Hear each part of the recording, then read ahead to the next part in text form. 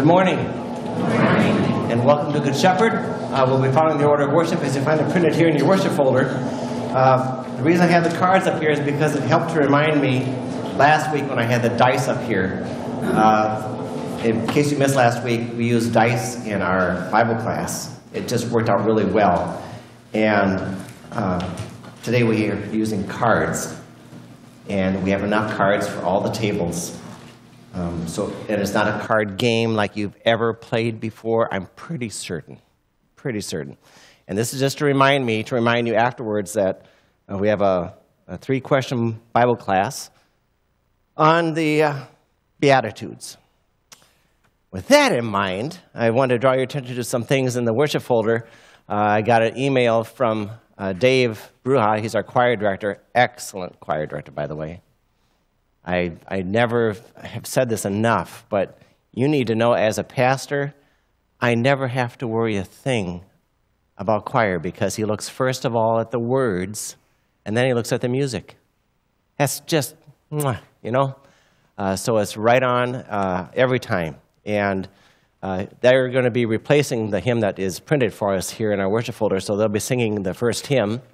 And then I want to make you aware of that insert with those words. That's the first hymn that we'll be singing during the distribution of the Lord's Supper. So, with those in mind, now let's take a deep breath and focus our minds and our hearts on our Savior who rescued us, and we have life guaranteed forever uh, good health, endless joy, uh, angels all around us, and we've gathered to worship Him. Please give your attention to our choir.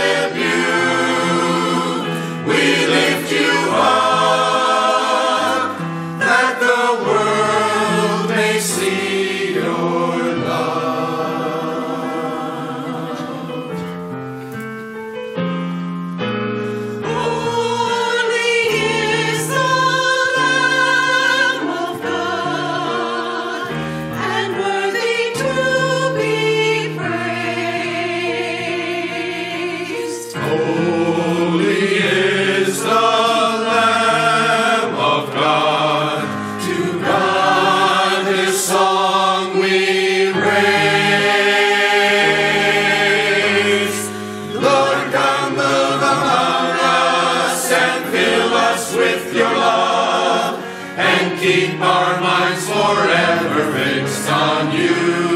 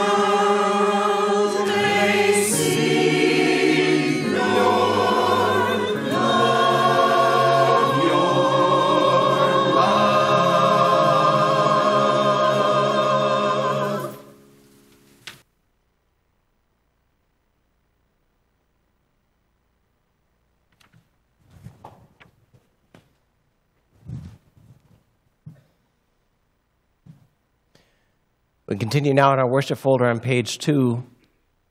In the name of the Father, and of the Son, and of the Holy Spirit, amen. God is faithful. God gave us His word. God keeps His word.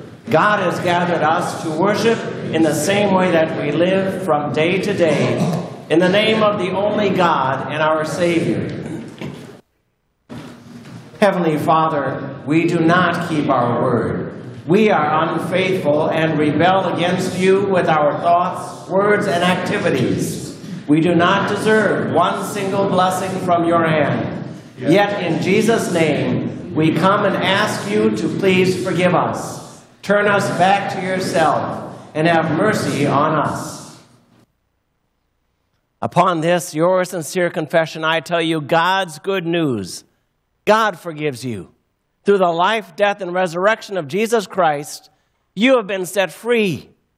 Go in peace and sin no more.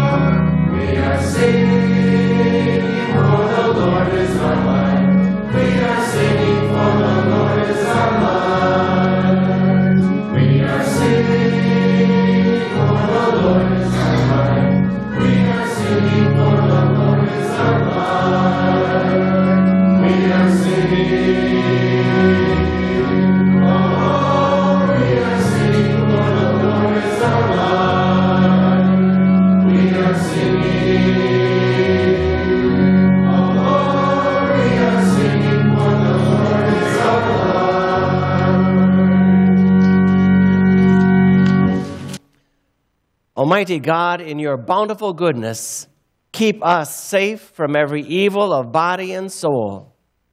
Make us ready with cheerful hearts to do whatever pleases you. We ask in joyful confidence through Jesus Christ.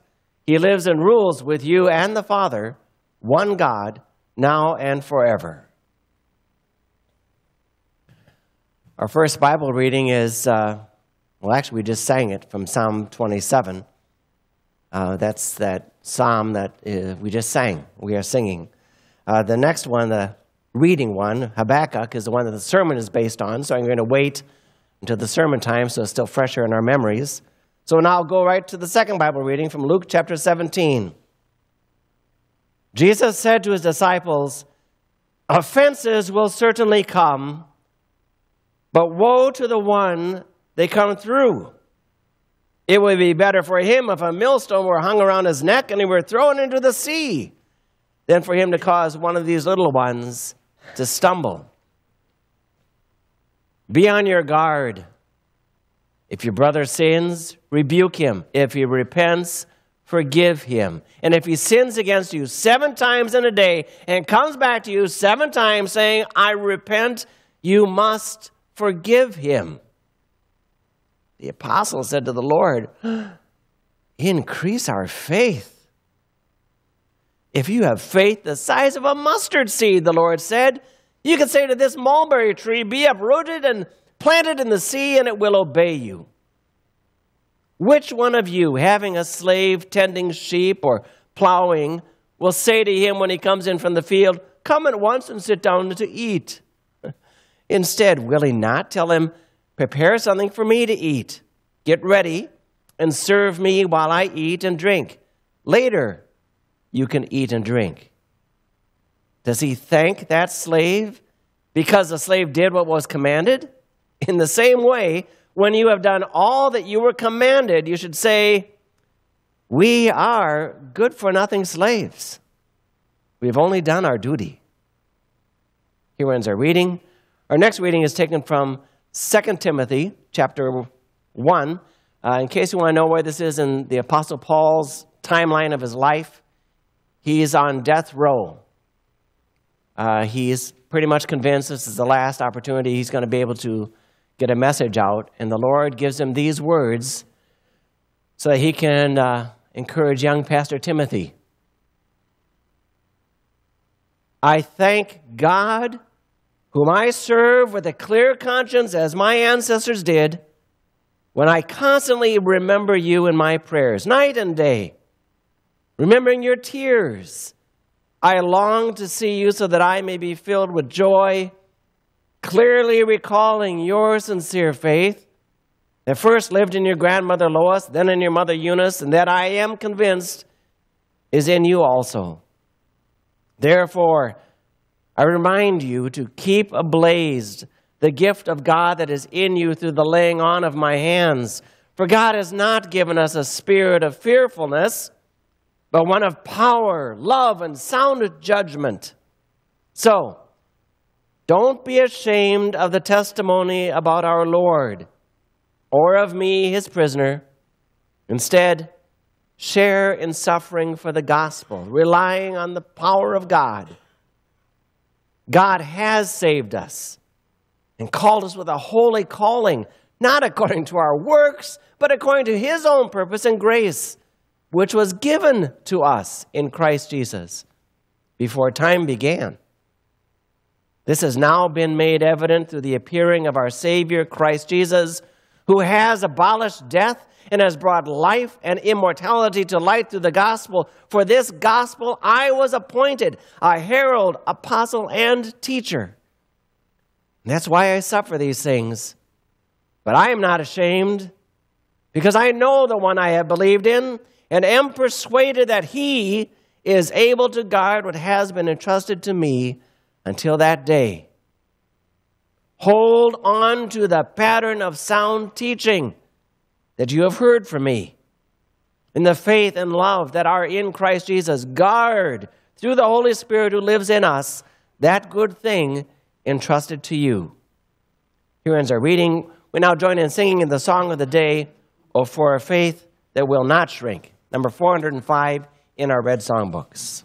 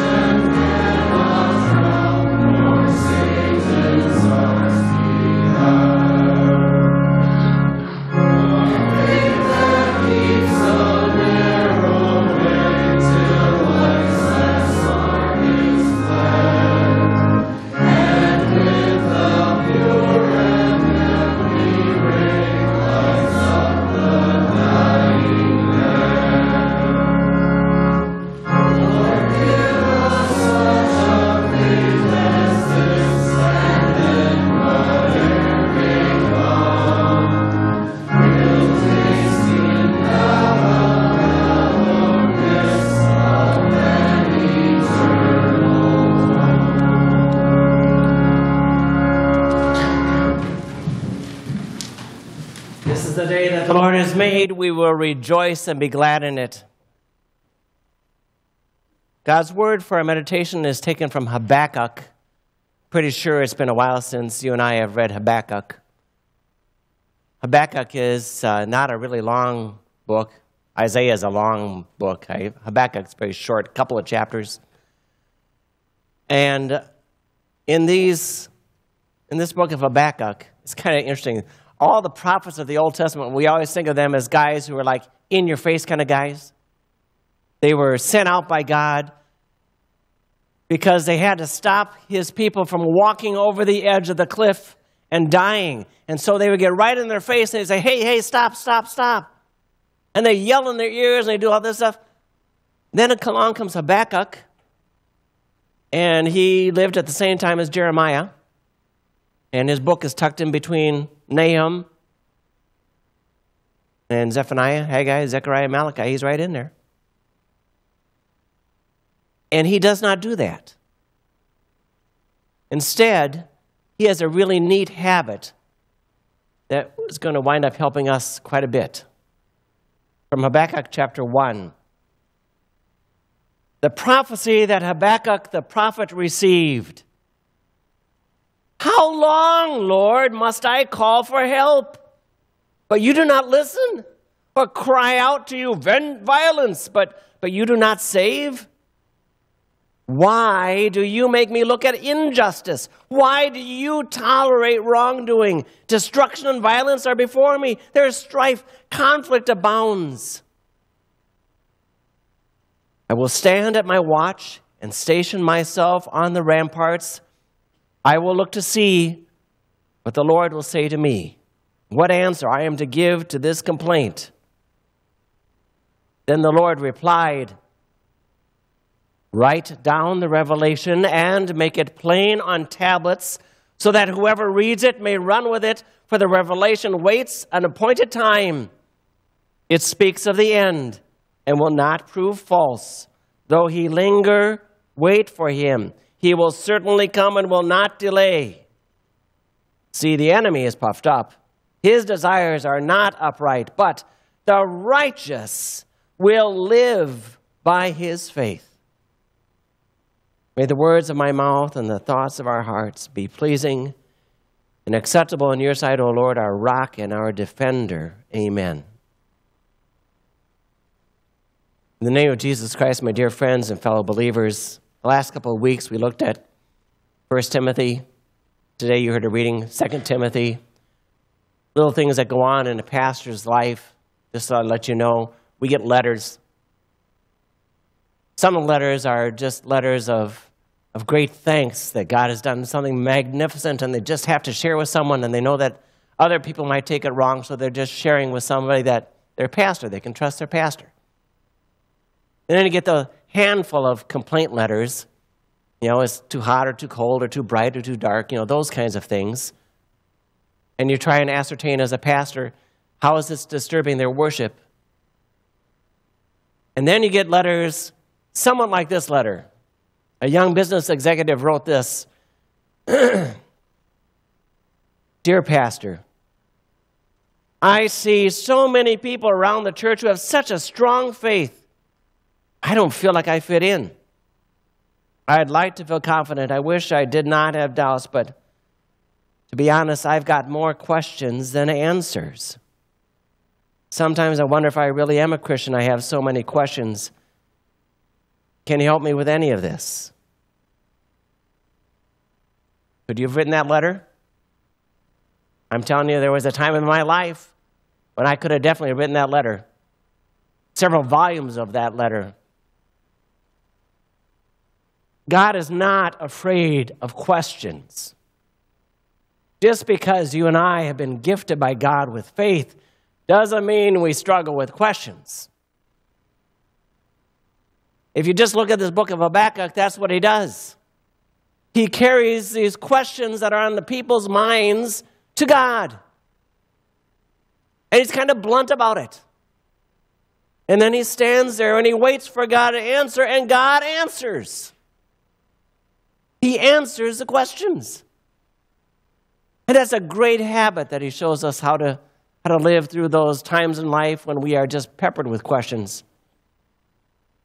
He carries the complaints to God, and then he quiets himself as he's waiting for God to give him an answer. Starts off like this. Remember that first troubling question? How long, O Lord? How long? That's the question that every kid has sitting in the back seat when you just start off on vacation. Are we there yet? No, we're not there yet. How long?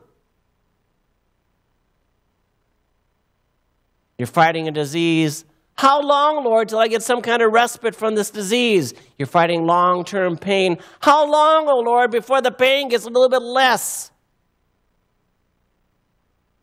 You're fighting a heartbreak because of terrible things going on in your family. How long, O oh Lord? The second question is as troubling? No, I think the second question is even more troubling. Why do you tolerate wrongdoing? Not just how long, but how come? Lord, why aren't you doing anything? On school campuses, your children are mocked because they believe in Jesus Christ.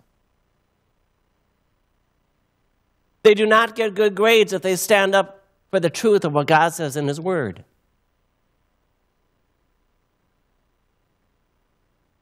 They are constantly, with their peers, kind of looked funny at because, you know, they're Christian.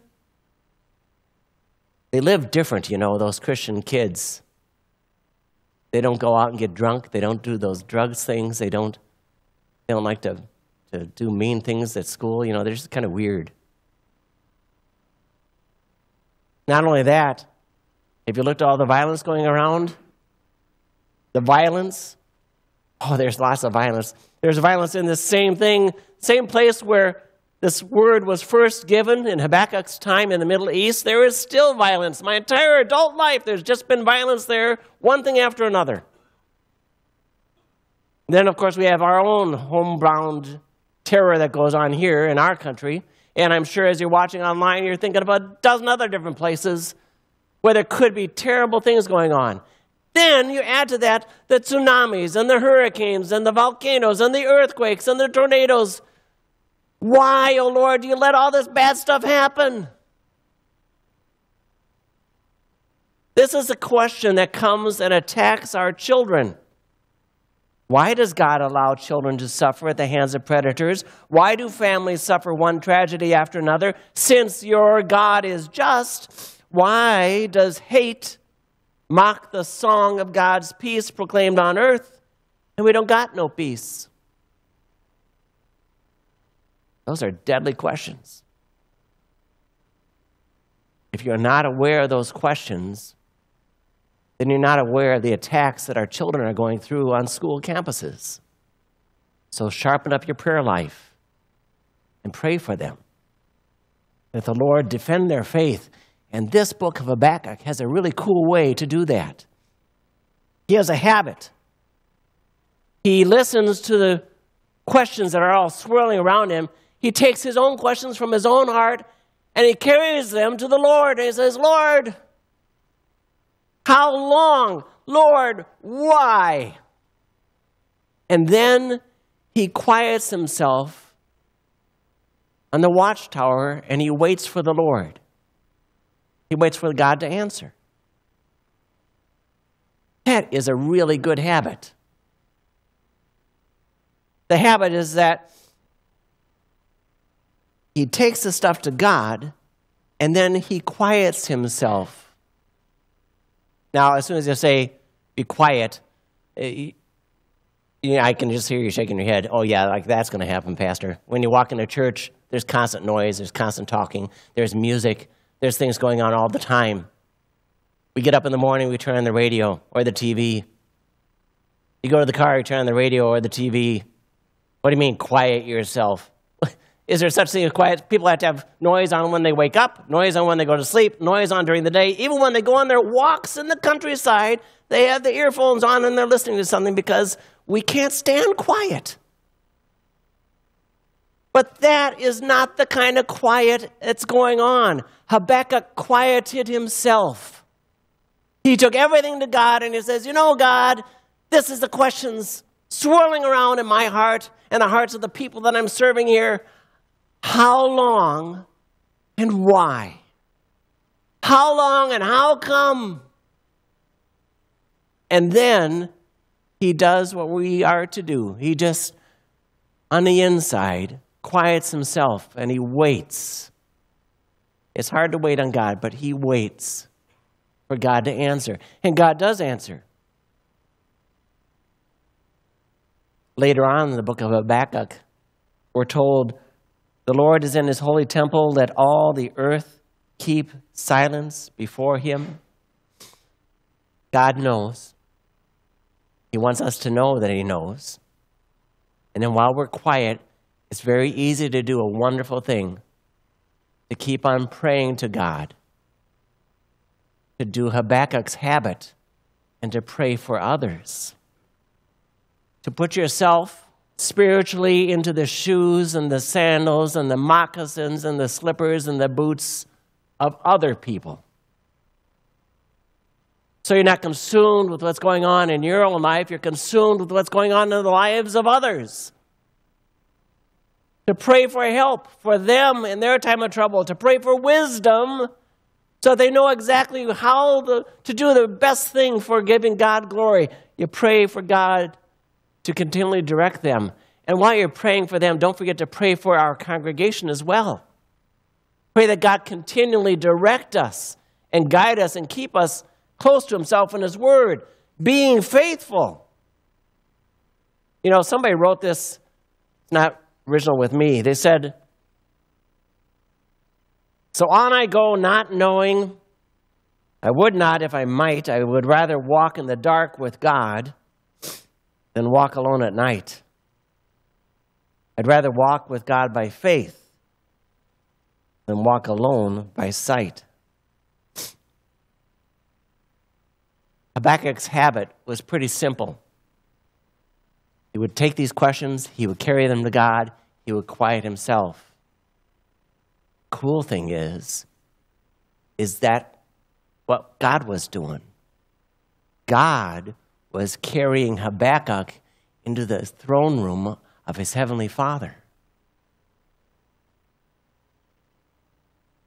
And while he was there in the throne room of his heavenly Father, he quieted down his child so his child could speak to him one on one and let him know really what's bothering him, knowing he had the full attention of the God of gods. So God carried Habakkuk into his presence. God moved Habakkuk and gave him the courage to let God know what was going on. God quieted him down while he answered him.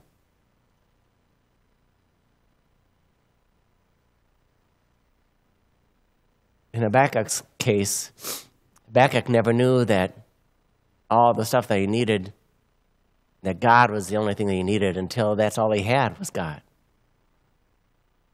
You and I, the same way, we will never know that God is all we need until God is all we have. And when we have God, that is plenty. More than enough for day to day and a guarantee of eternal life. Like the Apostle Paul said, not because of what we've done, but because of what Jesus did in our place, lived in our place, died in our place, came back to life in our place. We hear that so often, it's got to hit right down here. Our Lord Jesus gave up his life so that you and I would know that he carries us into God's presence, he calms us down, and he gives us an answer. He's all that we need. Keep trusting in him, in his name. So let us live. Amen. And now may God's peace, which goes beyond all human understanding, guard and keep your hearts and your minds in Christ Jesus our Lord. Amen. And I'll pause for the gathering of our offerings.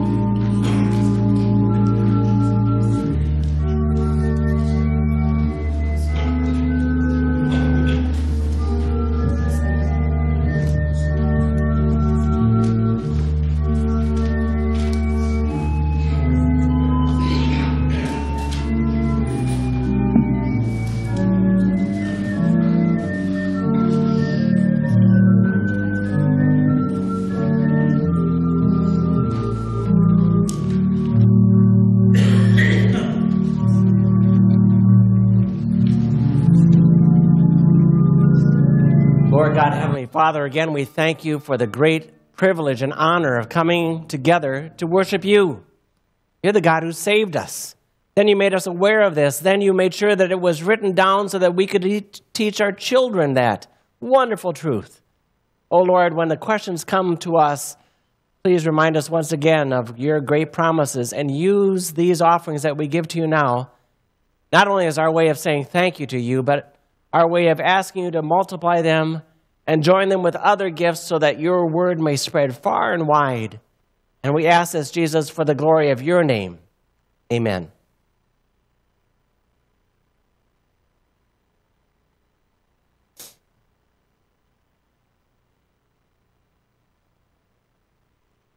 In our prayers today, our prayers have been requested for Gloria in New York. Uh, she is uh, still uh, recovering, uh, but uh, thankfully she's had a, a little bit of a respite from all of the uh, pain that she's been having recently as she is in rehab. we're going to be using as a basis for our prayers a prayer originally written by a Christian by the name of John Jewel. And he wrote this prayer around the year 1567. For those of you who don't know, the reason why I do this, this is a time in Lutheran liturgy where it's called the general prayer. And when I was growing up, I used to think, well, general prayer, that means just everything goes up there and it's a general thing of talking to God.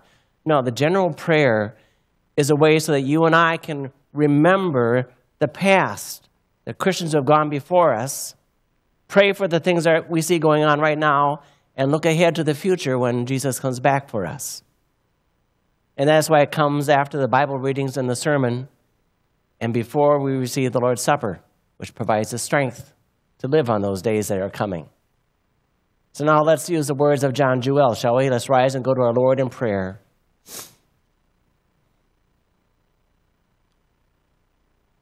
O most merciful Father, we beseech you for your mercy's sake, continue your grace and favor towards us. Please do not let the sun of your gospel ever go down out of our hearts. Let your truth abide and be established among us forever. Help our unbelief and increase our faith. Give us hearts to consider that this is our time the time of grace that you give us to come to faith and to stay in faith and to guard that faith. Through faith, clothe us with Jesus Christ, that he may always live on us and that your name may be glorified through us in all the world. Jesus, we also ask that you please continue your many graces being shown to Gloria in New York. Lord, you are a good and a gracious God. You have been with her all the time, and you've reminded her through your friends and through her fellow believers that she is never alone. You're always by her side. And now you have also given her some respite from that pain and, and suffering that she's been going through. And we thank you together with her for that little respite. We ask that if it is at all possible, that that continue. And Lord, we also ask that you please watch over all of us so that we may stay firm in our faith, stay close to you, never leaving you and never abandoning you. We ask all of these things, Jesus, in your name. And now, in your name, we come to our Heavenly Father and we use that perfect prayer that you taught us how to pray. Our Father, who art in heaven, hallowed be thy name. Thy kingdom come, thy will be done on earth as it is in heaven. Give us this day our daily bread, and forgive us our trespasses, as we forgive those who trespass against us. And lead us not into temptation, but deliver us from evil. For thine is the kingdom and the power and the glory forever and ever. Amen. You may be seated.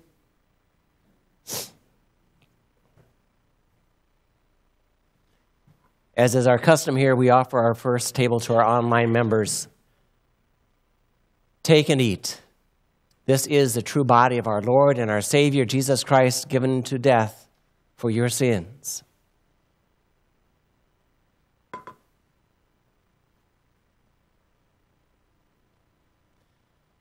Take and drink. This is the true blood of our Lord and Savior Jesus Christ shed for you for the remission of your sins. Now may this strengthen and preserve you in the one true faith unto life everlasting. Depart in peace, your sins are forgiven. Amen. Come, for all things are now ready.